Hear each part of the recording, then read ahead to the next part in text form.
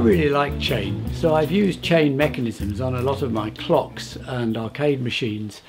Um, so I didn't realise quite how many sprockets I'd accumulated until I hung them up uh, for this video. Uh, this video is really a sort of overview of my experience of using chain and belt drive over the years. Um, if you want to skip to a particular chapter, um, here are the contents.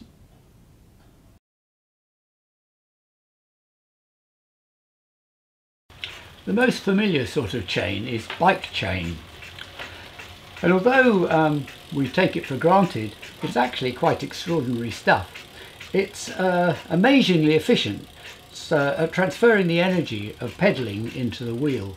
Uh, it's actually up to 99% efficient, uh, much better than uh, belt or gear drive. Um, and both roller chain and ball race bearings uh, were invented uh, for bicycles in the late 19th century. People have tried belt drive and gear drive over the years, uh, but they've never. But chain has really never been bettered. Uh, quite recently, a bike sharing company in London tried uh, gear drive. There's obviously advantage to make it all robust because everything could be enclosed. But with two sets of bevel gears, uh, it was a lot more hard work to pedal. And their later models, they reverted to tried and tested chain.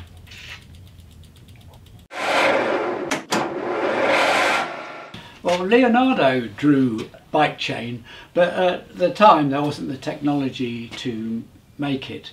Uh, so the earliest sort of chain that was actually used for transmission is a traditional uh, chain. It was made of wrought iron uh, by blacksmiths.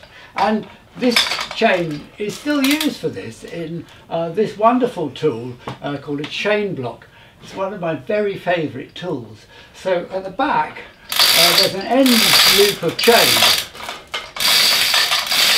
This is geared down to move the stronger front chain very gradually, but with enormous power.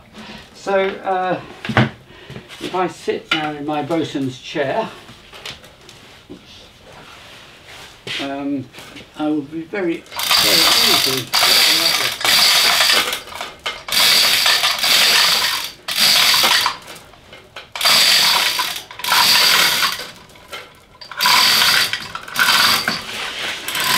effortlessly lift myself up. I could actually lift my great big old lathe at the back there just as easily. But what's really gorgeous about it is that I can adjust its position so precisely, um, much more precisely than any powered hoist. Just a fraction of an inch. So in the Industrial Revolution, people tried all sorts of different designs of chain, but what really made the biggest difference was bushed chain.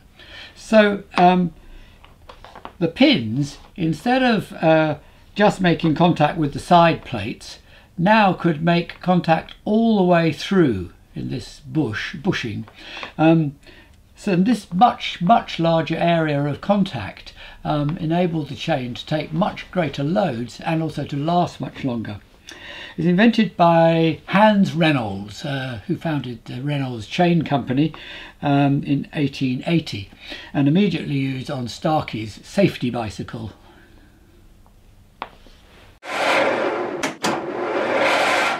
So the way that I use chain in my machines uh, is quite similar in a way. It's usually to connect a motor to a mechanism and it's uh, useful being able to put the motor somewhere out of the way uh, and sometimes it's useful to be able to reduce the speed. Actually there's much more power than I need in a chain this size so um, I find that I often use a much smaller size of, of, of chain, uh, this, this 6 mil stuff. With small chain, the sprocket wheels are much smaller, so you can reduce the speed much more compactly than is possible with large chain. And of course the sprocket wheels themselves can be the basis of all sorts of mechanisms. then chain can also be great for linear motion, like these cars in my Trust Wildlife machine. They then just get stuck in traffic jams, and because they're unable to fly, they just stuck. Bonkers. Bonkers. But most of all, I love chain because it's so amazingly forgiving. I mean, who would have thought that derailleur gears could possibly work? Just shoving the chain off the rear sprocket and hoping it lands on the next one, particularly when you're going from a small one up to a big one.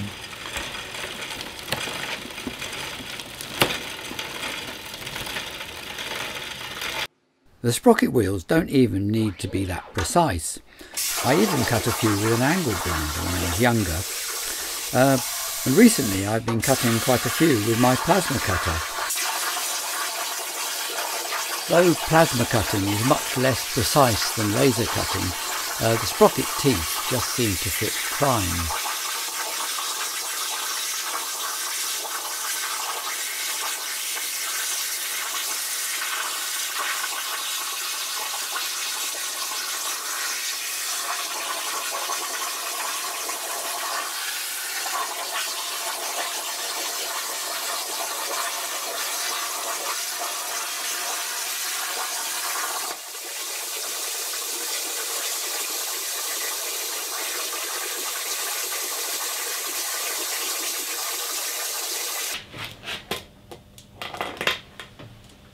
You know, chain doesn't have to be tight to work.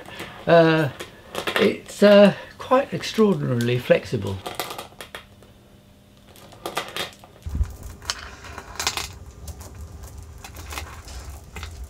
I do quite unlikely things, so if I just, I can just hook it over another sprocket up there, uh, and it's quite happy like that. Uh, and over here, I've just got a sprocket tied to a bit of string. Um, this is slightly more tricky. I don't know if I'll get this to work. Oops, no, I think I have to get it right under there. Oh God! Oh, maybe not.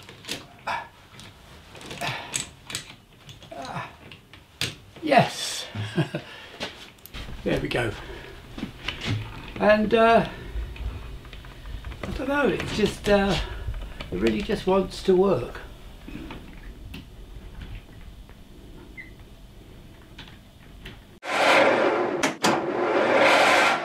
Uh, choosing what size chain to buy is confusing because there's so many different sizes.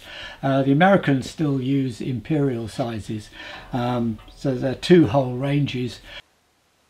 So the two uh, important dimensions for a chain are the pitch, which is the distance between the pins, um, and then also the width uh, between the inner faces of the inner links of the chain which is also of course the width of the sprocket teeth uh, that it can run over. Anyway, the smallest one uh, generally available is a 5mm pitch, um, very beautiful stuff and still amazingly strong. Uh, this will carry a load of over 20 kilograms. But the drawback of this is it's very expensive. I don't think the manufacturing can be uh, fully automated, so some of it's done by hand, I think. Um, so this is one up. This is six mil, and I use a lot of this uh, this chain. Um, this is where I used to get confused with the American sizes with quarter inch uh, because the sprockets aren't interchangeable. Um, in the end, I threw away all the quarter inch ones I had because uh, I got so confused. Um, and then there's 05B, which is uh, 8 mil.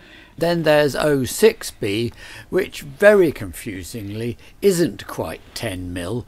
It's uh, 3 eighths of an inch or 9.525 mil. And they're the three sizes that I tend to use most. Um, the, these ones here are all half inch or 12 mil. Um, bike, this is bike chain. Um, and this is this is a good way you can see how much thinner uh, the bike chain is uh, than the industrial version. It's just much wider that way. Um, this is motorbike chain, uh, which is even uh, wider still. Uh, the largest chain that I have um, is got a one inch pitch. Extraordinary, lovely stainless steel. Um, and I found in the scrapyard and couldn't resist. Uh, I've never used it though because it's unbelievably heavy. So, uh,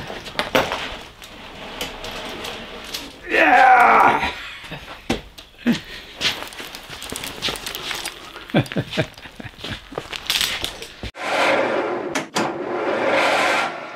Before leaving chain sizes, uh, I should mention that there are various other uh, exotic sorts of chain, like this rather beautiful leaf chain. I don't know what this particular one uh, came off, but on a large scale, uh, they can carry particularly large loads. So they're used on things like forklift trucks and stuff like that.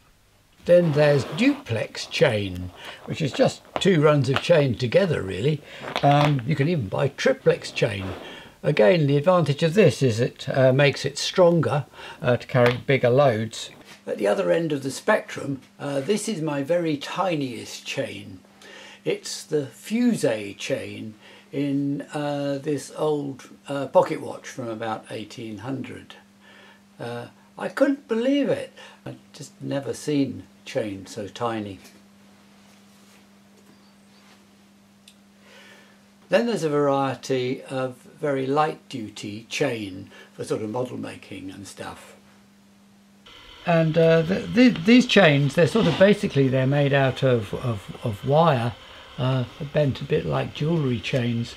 Um, but there is there's a surprising amount of strength. Uh, they're made of steel. This is the most common sort, uh, though you can get plastic ones as well. Then you can also uh, use this sort of chain, a sort of chain on roller blinds um, for transmission.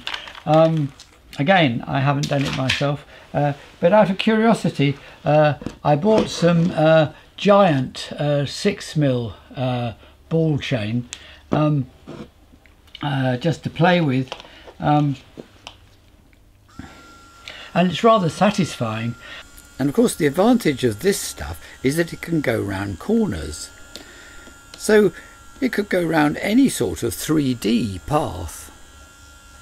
I just cut the sprockets for these out of uh, Delrin. I drilled holes through Delrin and turned it down on the lathe. So uh, different things to consider. Um, the price makes surprisingly little difference. Uh, a 5 mil reel of the tiny chain, the 6 mil, isn't much different from a reel of the 10 mil. Uh, there's more metal in the bigger ones, but many fewer links, so there's less uh, to manufacture, it's less complicated. Um, load, uh, well, for things I make, I don't usually come near to their rated load, so that's not an often an issue for me. Obviously, if you're tight for space, uh, the 6mm one is the one to go for. Sprockets are all smaller, um, everything can fit into a tiny, nice tiny space. Um, I think perhaps it'll come clearer uh, with the examples in the rest of this video. Bike chain, you just buy enough for a single uh, loop of chain around the the rear wheel and the pedals um, but more generally you buy chain in uh, boxes of, of, five meters um, some places do sell less but uh, the box is a cheaper way of buying it generally so the first thing you have to do is to then is to get the right length um, cut it to length uh, which you do by um, punching out a pin um, so uh, I just have a bit of metal with a with a hole in um, that I can lay the chain on top uh, and then um, knowing that there's a hole underneath here uh, I can then um, punch the pin through. Uh, oh I should say yeah conventionally uh, you use one of these things this is a, um, a chain extractor it's called um, and this works okay for bike chain and larger chain, uh, but it doesn't really work for um, small chains like the 6mm and the 8mm. Um, so that's why I always resort to punching out the pins. Okay, so uh, I start by getting the pin down to the level of the plate.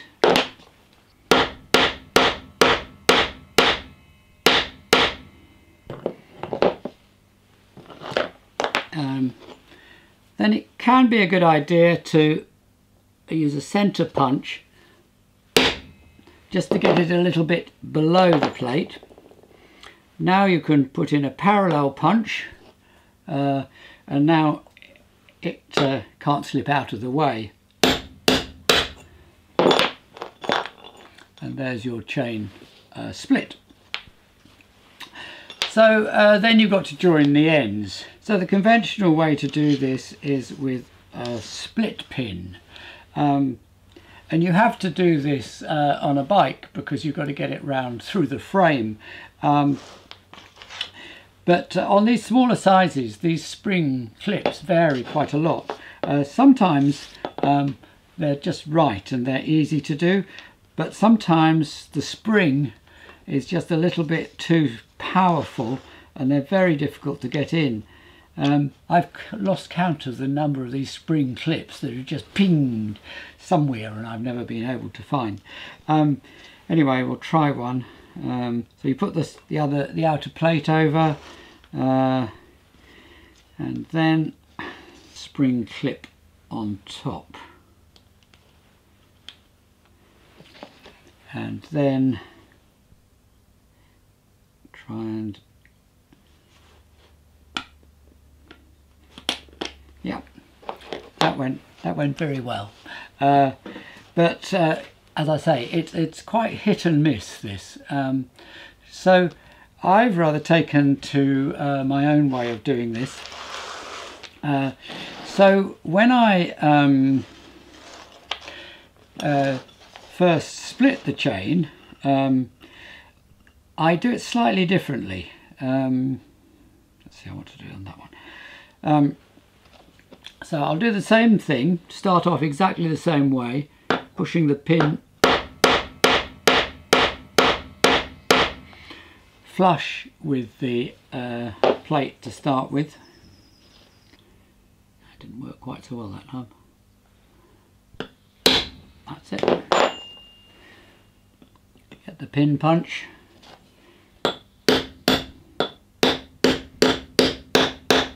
Now this time I'm only tapping very gently because I don't want the pin just to fall out the other side. Um, I'm going to try and leave it attached to the far plate uh, and this is not as difficult as you might think because um, the pin flares out at the edges uh, because of the rivet and so quite lightly now I can give it a little sort of wrench and that's what I was trying to achieve. Um, so then uh, you can end up with a chain that has got uh, a smaller link of the chain on one end and uh, you've got um, the bigger link with the pin sticking up. So then of course it's not that difficult uh, just to, in theory, uh, just to punch the pin back in.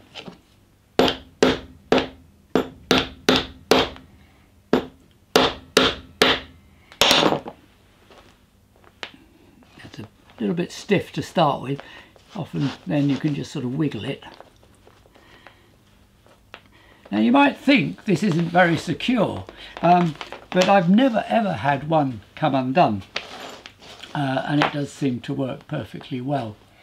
And it's just very adaptable. The, of course, the drawback is you can only do this on the bench. So uh, if you need to assemble um, a chain in situ, uh, then you do uh, use the links. Um, the one other thing to say about uh, adjusting the length of a chain is that you, um, you can buy these uh, useful little things called half links. So you can see the wider link of the chain uh, is, is, goes down to a neck. And this means that uh, you can adjust the total length of your chain um, more accurately. This is 8 mil chain. You, you can only cut it every 16 mil really to fit. Um, but using one of these uh, uh, you can adjust it to within 8 mil.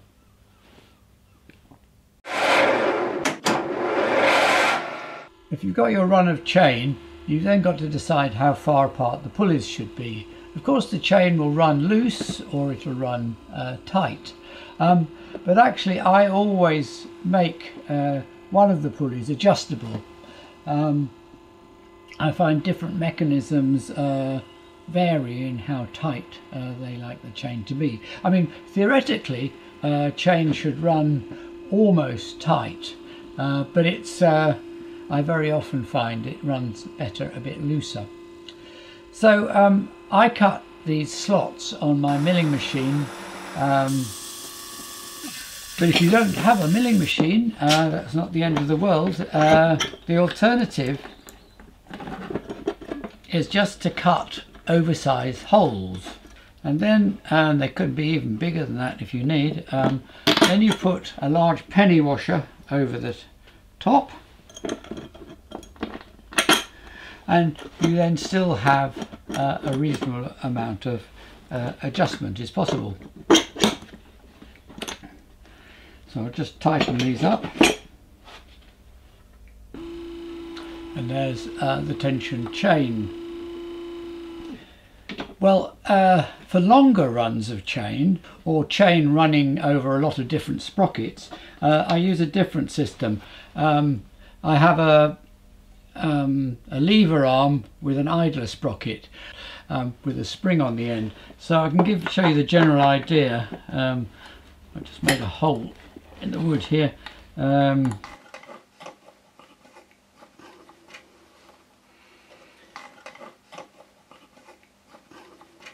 It's the same idea as the spring arm on uh, a bike's um, derailleur gears uh, that keeps the tension as the uh, chain jumps from one sprocket to the next.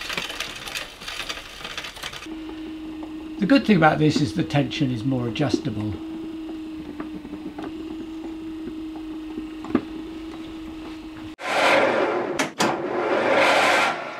So then I often find it useful to attach things to chain, to make little things move along a track or uh, to make larger things move. Um, so uh, the best way of doing this is to buy proper attachment chain. Um, it's lovely stuff. This is the smallest size they do attachment chain for the uh, 8mm uh, spacing. Um, and I have bought it occasionally. Uh, so like the treadmill uh, that the zombies walk on um, is, is made of, of, of, this bought stuff. But it is expensive, it's sort of 50 to 80 pounds a metre. Um, and takes a while to come because it's custom made. Uh, so it's very tempting to make my own. Um, so there are two ways I've tried this. Uh, this is the neater way um, which is to use the connecting links. So um, you have you just uh, drill two holes in um, a bit of steel uh, to replace uh, one of the outer plates uh, and then put the spring clip over the top. Uh, and this would be great if I didn't have such trouble with these spring clips. So I have to admit that I very often resort to uh, um, welding um, my own attachments. Uh, and it looks appalling my messy welds.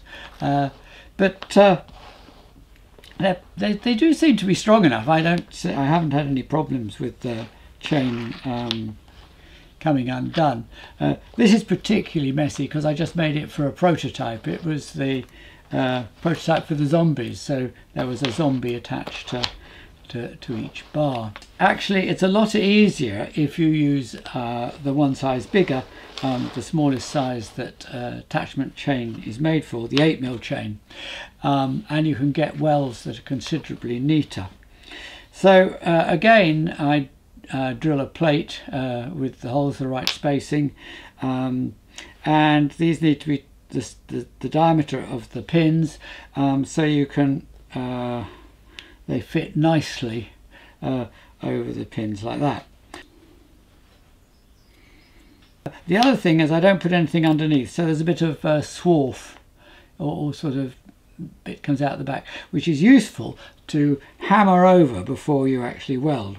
So now I'll try and weld this and see what a mess I make of it.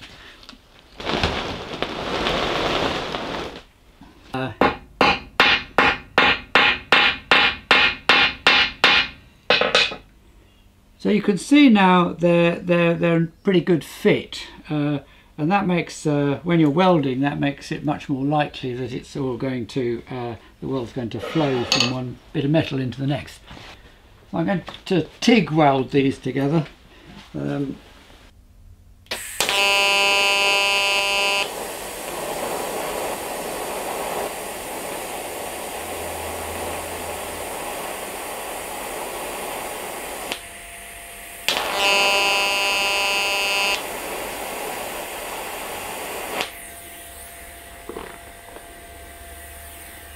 So uh, there's the finished weld, uh, not too embarrassing. And the chain still perfectly flexible. I've used this on many machines, including the COVID window display I made for Novelty Automation. In this machine there's a very long length of chain so uh, there's a little brass channel for the chain to run in just to stop it slipping from side to side. Oh, I forgot one other way of uh, attaching things to chain, which works on bigger chain, um, and that's just to remove one of the pins and put a bolt in instead. It's a very quick uh, way to attach things to a chain. And this is seriously big attachment chain. Um, it's from an overhead conveyor system. Amazing stuff.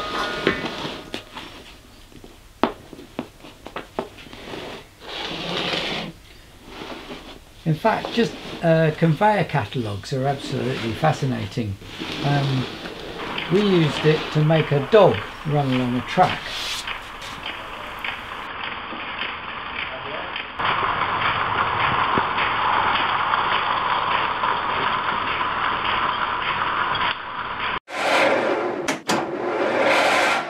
A big drawback of chain is that it's so messy. Um, if you've ever had a chain come off your bike, uh, you'll know you can't avoid getting covered in grease. Um, this chain to work properly has to be oiled. Uh, and bike chain particularly has a really hard life because um, it picks up dirt from the road all the time. And what happens is that it slowly stretches.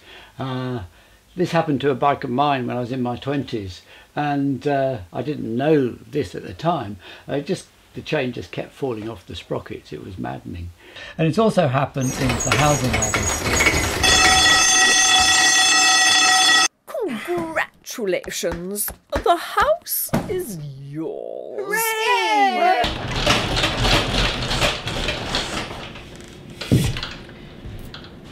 The two halves of the uh, ladder uh, on the housing ladder machine are connected by this chain that runs over to sprockets. Um, I had a lot of trouble with this. I completely underestimated uh, the load it was under. So first it was Dyneema rope, uh, 12 mil rope, um, but this stretched, uh, kept stretching, so I was having to adjust the machine every week or two.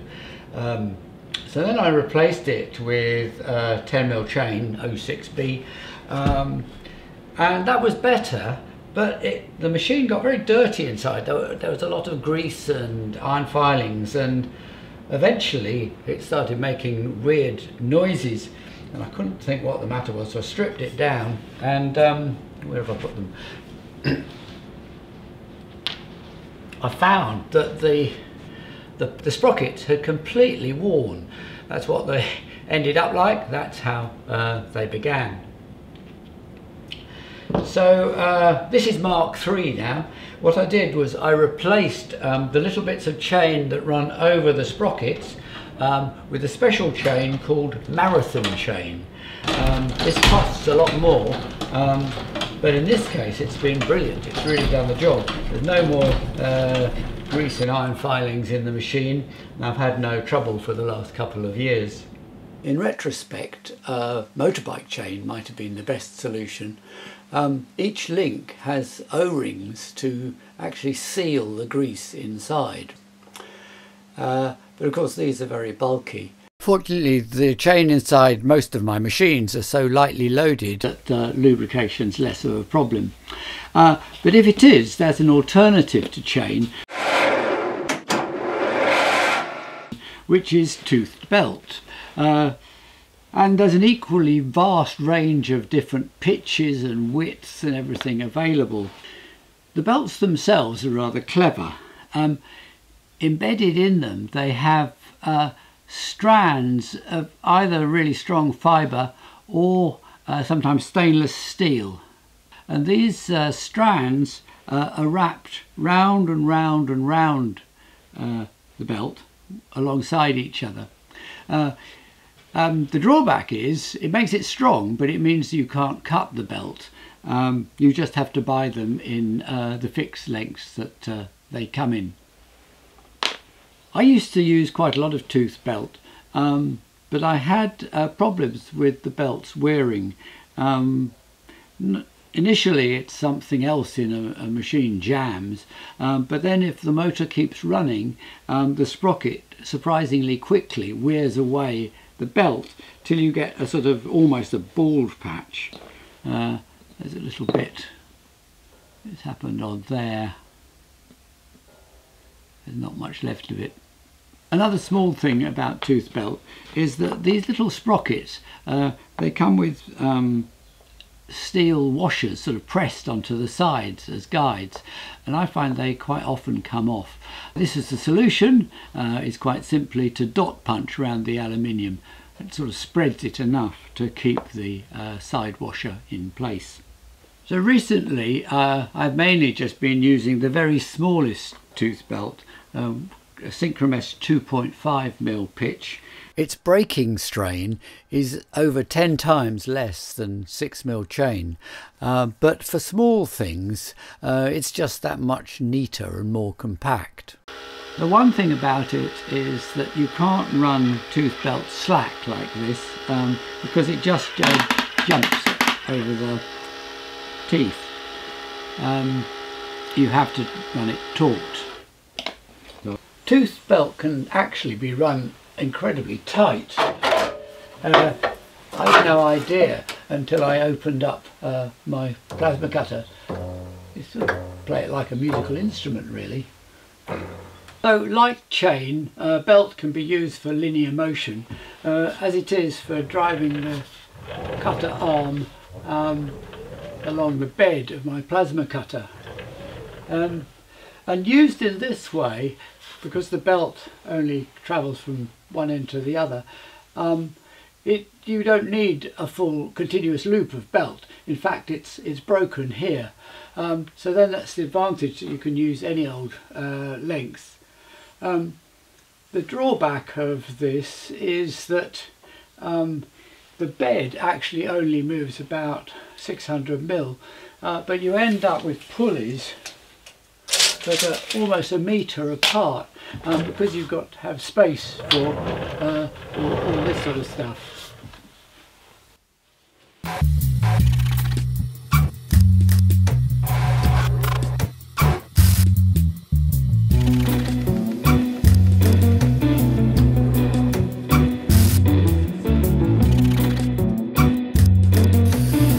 In Celeb, you spy on the stars flying a drone around a Beverly Hills mansion.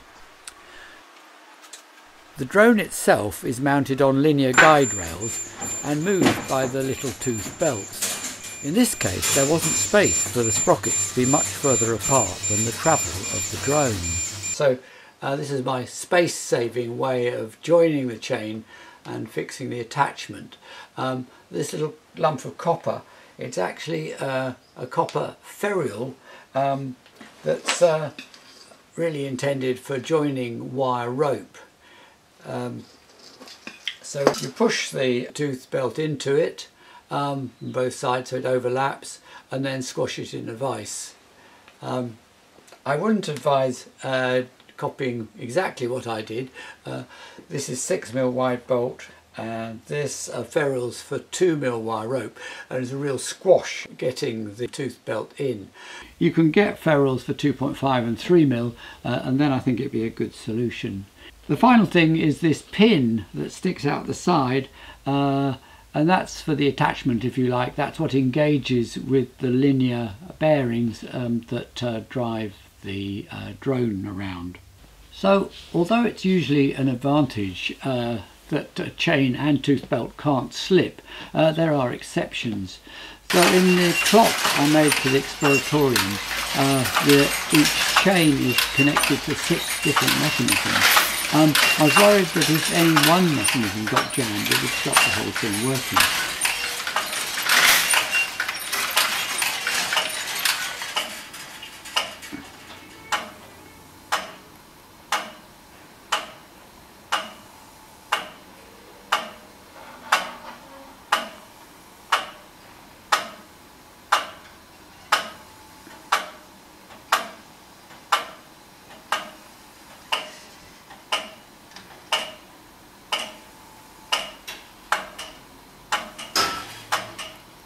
So um, the answer was to have a bit of slip and to do that I fitted uh, these things called torque limiters on each of the mechanisms. So uh, now if I just hold on to the chain I can stop it moving. So how it works is that the sprocket is actually gripped against two fibre washers and according to how tightly it's held uh, adjusts the torque. You adjust it with this big nut on the outside um, so if I slacken it off uh, then uh, there'll be very little in very little torque indeed um, and if I tighten it up uh, obviously um, the torque increases and the adjustment is very precise so you can really set it to uh, exactly the torque you want. Probably can't, no I can't hold it now. um, they're brilliant devices. You can make your own, um, which I quite often do. There's not quite the same precision of adjustment, um, but really you just put, need to put a shoulder on a shaft and a bit of thread. Um, then you put your sprocket on. Uh, another washer. Then the only special things you have to buy are these, uh, they're slightly dished spring washers called Belleville washers, um, which I talk about in the spring episode of this series. Uh,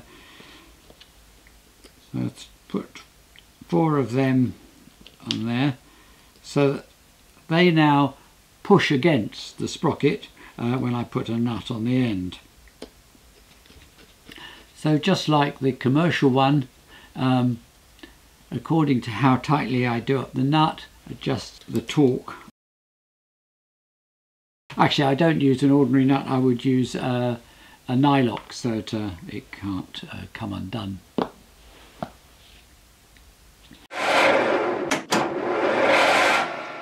If you don't need uh, quite such precise adjustment of torque, um, but you still want something to slip, a much simpler alternative is just to use round belt. In the last 10 years, I've got rather keen on mechanisms that can slip, um, really just to reduce wiring to avoid the need for limit switches. So on little um, light duty mechanisms, uh, rather than having switches to turn off the motor when they reach the end of their travel, uh, I just let the motor carry on and let the uh, pulleys slip uh, for a second or so. Uh, so I do it entirely on the timing of the motor rather than having uh, the switches. Um, the downside is it is increasing the wear on the pulleys and the belt, but uh, I've done it for 10 years and not have any problems. Um, this is made of polyurethane, um, comes in lots of different sizes, there are many bigger, uh, thicker ones than this, um, and also in different grades. I like the green one because it's uh, pretty stiff, it uh, doesn't stretch too much. Um, another common one is the orange one which is, is a lot more elasticy. Uh, you can join these by just heating them up to weld them, I'll demonstrate in a minute. Um, and I usually make my own sprockets for them. You can, uh, this is acetal plastic or Delrin, um, and uh, I also sometimes make them out of brass.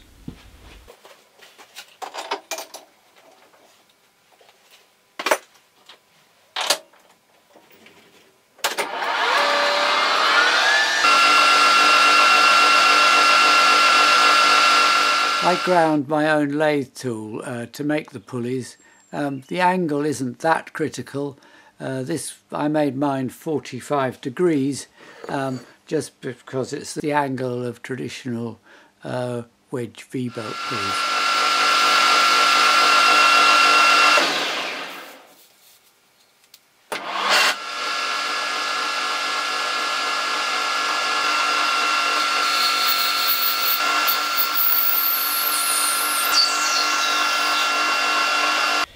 Okay, so uh, there are the pulleys in place, so now I can fit the belt. Um, I just get this roughly to size, or line it up. Oops, there we go. Uh, I think cut it about there to leave room for a bit of stretch.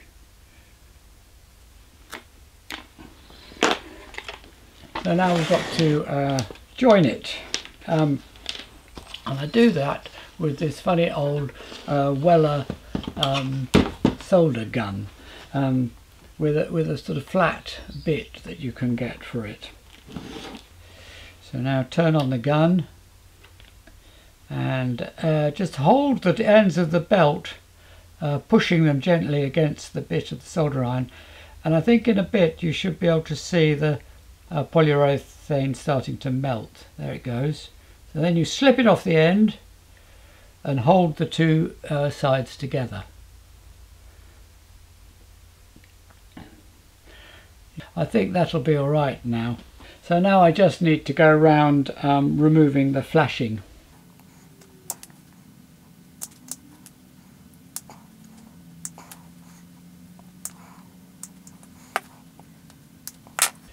And there's the uh, finished join and it'll be very very strong. I won't be able to break that. Uh,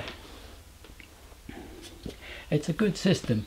Um, my funny old way of using the gun uh, I've got very used to it but um, uh, for, a beginner it might it's probably a bit easier to um, make yourself a sort of jig. I mean you can buy kits uh, to do it but they they're really stupidly expensive about 500 quid.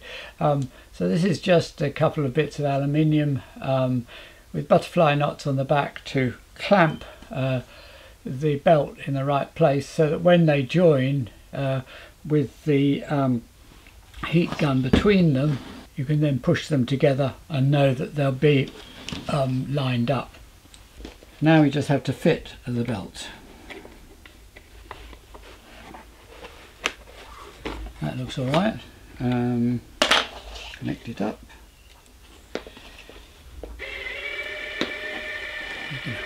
Uh, and it runs perfectly well. The only trouble I've had with this round belt, uh, it, it, has occasionally broken when I've made the pulleys too small. Uh, you, the pulleys actually have to be 10 times bigger diameter than the belt itself. So in this case, that's a 50mm pulley with a 5mm belt. Proportionally, um, if I go down to, uh, say, a 25 mil pulley, that would just about take uh, a 3 mil belt. Oops. So even the tiny 2 mil belt, uh, you still can't have a pulley that's uh, less than 20 mil diameter. But actually polyurethane belt's not nearly as bad as steel cable in this respect. Um, steel cable actually requires pulleys that are 40 times uh, the diameter. I mean you can get away with 20 but it uh, reduces the life greatly. That for a 2 mil uh, steel cable you need a whopping 80 mil pulley uh, and I have had trouble with that as well in the past um, with steel cable fraying um, because of you know, using two pulleys that are a bit too small. Um, so really mustn't grumble about polyurethane in that respect. Well, I think that covers the basics of what I know about uh, chain and belt drives. Uh, I hope you found something useful in the video. Um, I'm such a fan of chain that a few years ago I decided to make a, an arcade machine that had lots of chain visible. Uh, and this eventually ended up as the fulfillment center, my Amazon warehouse. So I'll leave you with a clip of a friend of mine using it.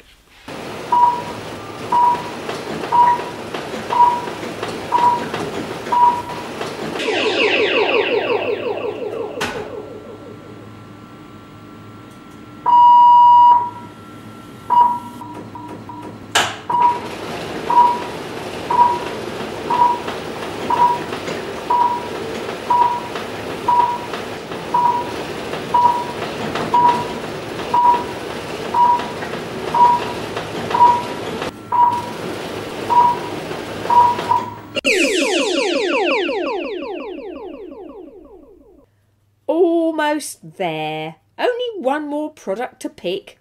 But you've now been working 10 hours, so it's difficult to walk quite so fast.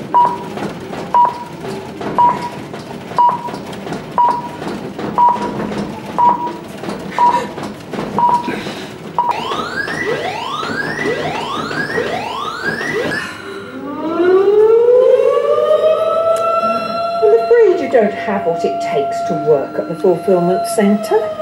Are releasing you with immediate effect. Please collect the printout of your P45 form below. Don't be depressed. This is a fantastic career change opportunity. And as a gratitude,